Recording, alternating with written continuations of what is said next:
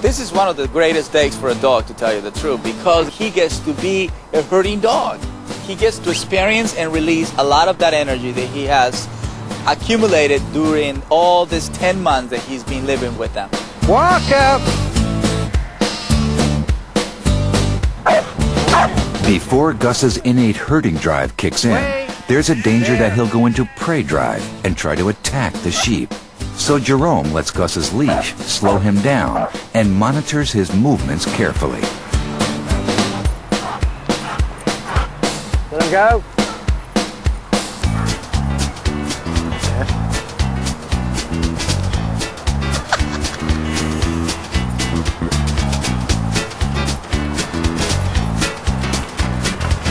So you can see right now I've got him dragging his leash to hinder his movement. Right. Once we get him past his prey drive, Genetics kicking. we got to get past that part right there. But Gus needs to herd, not hunt the sheep. Oh, see, yeah. Gus! Gus! You could tell he was trying to figure out did he follow the flock? Did he follow the one that was running away? It, you could almost see his mind working. Okay, release him.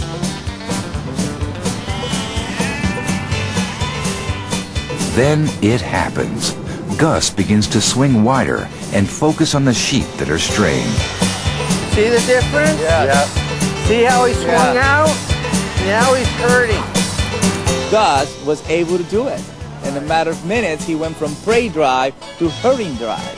Now all you gotta do is try to get the power steering on him. Good boy. Yeah. Good boy.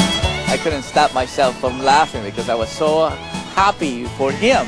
And at the same time, I was enjoying the whole scene of, you know, such a natural scene. And, and this is no street, this is no cars, this is no home. This is just sheep and a dog. That's great. Good boy. That's absolutely great. Now you can walk him anywhere you want. Super. Good boy. Good This bouncing Bouvier has finally found his calling.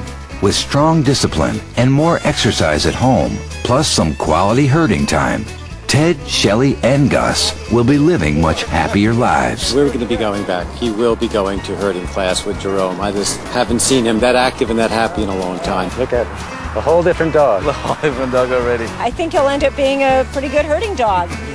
Gus is gonna be fine. It just doesn't get no better than this day for him. He did it.